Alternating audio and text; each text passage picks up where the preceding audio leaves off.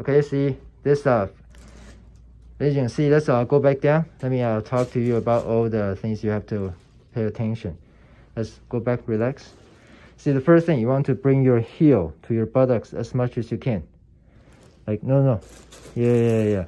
See, if you move your, your feet forward too much, it's going to be more on the hamstring.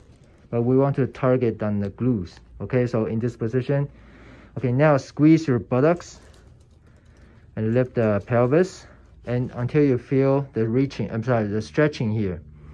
Okay, and then for warm up, see you try to, no, no, no, see whether put it back down. You try to squeeze your fists together, but keep that stretching feeling on the front thigh, okay?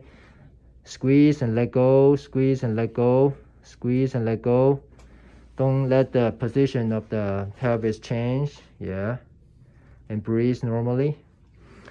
Okay, after doing that a few more times, you know, you make sure we're uh, activating the gluteus muscle. And then, now, you put your hand there on the pelvis without changing the, without letting the uh, pelvis rotating.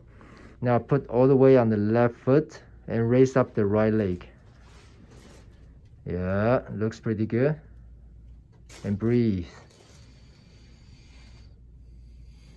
And don't let the position change. Yeah, try to hold the position throughout the motion. And make sure, have to make sure the back, see back right now is activated too much. Trying to squeeze more the glutes, yeah. And let go of the muscle here.